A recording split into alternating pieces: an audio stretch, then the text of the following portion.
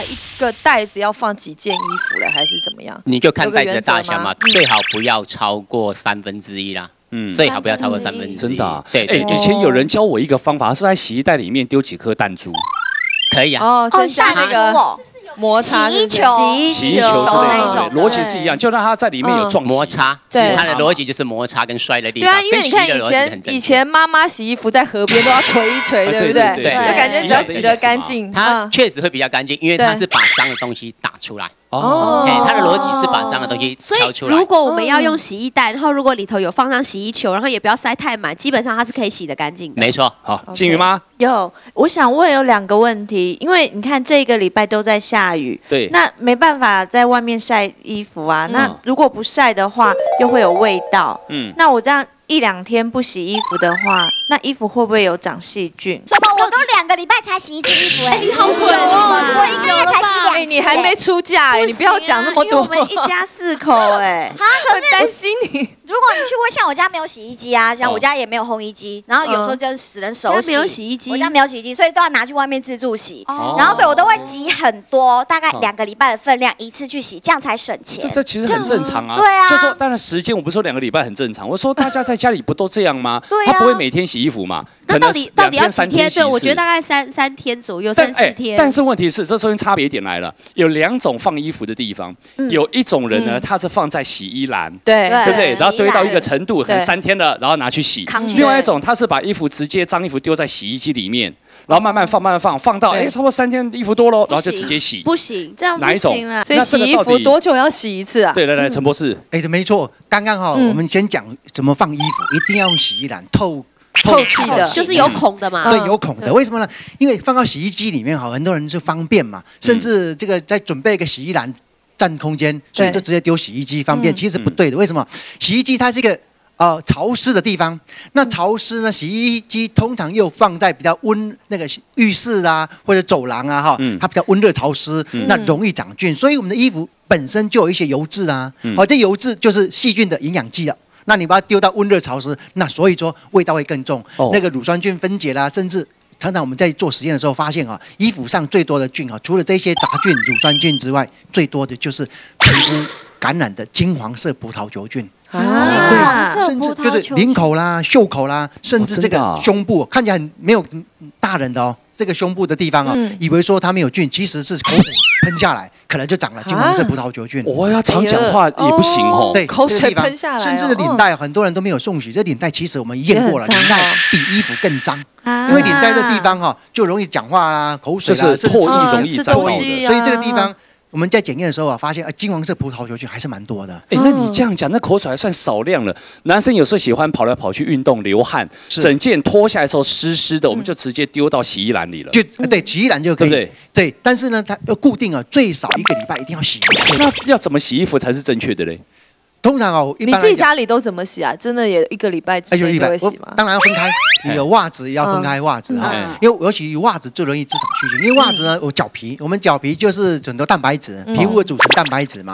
那鞋子又是温热潮湿，所以袜子呢通常的湿度比较高，那又有脚皮，所以袜子的细菌含量通常比哦培养其他的衣服比较多，所以袜子呢要分开洗。一般的人很少去洗洗衣机，对，那洗衣机最少一个月要清洗一次洗衣洗衣机。机要洗哦一。个月一一个月就要清一次，不是只要洗那个里头的那个一个一个洗衣网吗？它里头会就囤积那个棉絮啊。洗衣机也要洗啊，但是一个月要洗一次哦，我倒没有这么洗衣机要频繁呢。真的吗？嗯陈老师真的要吗？当然要啊。洗衣机一般我们有分塑钢跟钢面的，你通常我们外面市售都是塑钢的，塑钢很容易滋长细菌，嗯而且你家的洗衣机，你通常洗完之后，你门有没有把它打开？哎，要开还是关呐？要开要开了会有灰尘也会飘进去啊。你菌重要还是灰尘重要？灰尘是会洗掉，菌是洗不掉啊。不过我们来看看之前这个新闻哦，其实真的洗衣机很脏哦，哦这个藏污纳垢、藏菌比马桶还要脏五百三十倍，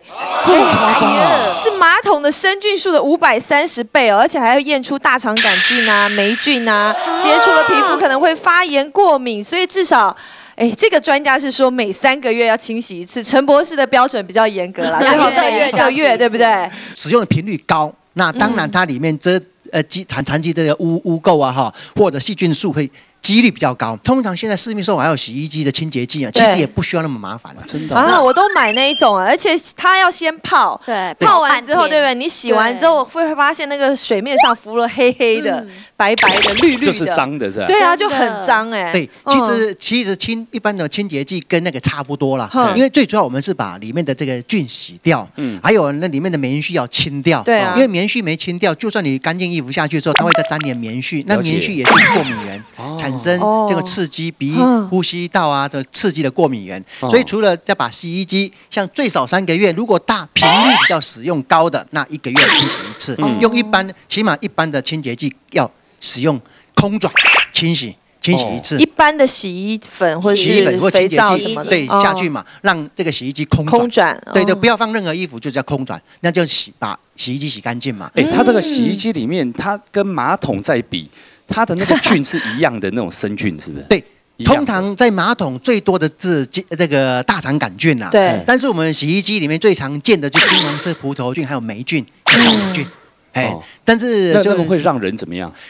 那个霉菌啊、酵母菌啊，皮肤比较容易过敏。那金黄色葡萄球菌严重一点，让小朋友的皮肤会溃烂，哦会啦。它比较严重一点。如果它有伤口的话，容易就溃烂，嗯对如果伤口会抓破，因为小朋友容易去抓抓皮肤嘛，所以这个是比较麻烦的。那马桶的菌呢，比较严重一点就是大大肠杆菌了对所以两个这个我们在统计的时候是用总生菌数，哦就不管它是任何的菌种嗯，在每一平方公分里面的含菌数有多少。反正这些菌都是坏东西就对了。是来，向老师，厨房里面还是蛮多食材是可以杀菌的。像我真的建议，就是说大家在呃洗洗衣机啊、这是有必要，而且真的是一个月要洗一次。嗯，你都怎么洗嘞？呃，我们真的就是呃用热水，哦，然后呢，就是因为现在其实呃洗衣机都是可以有热水的，嗯你就把它调到高温。那它有的有分温度，有的就是热的温的，嗯那你就调到最热的温度。然后呢，那个水也是到最满水位，嗯就是最大量的。然后时间也是洗最久的那个。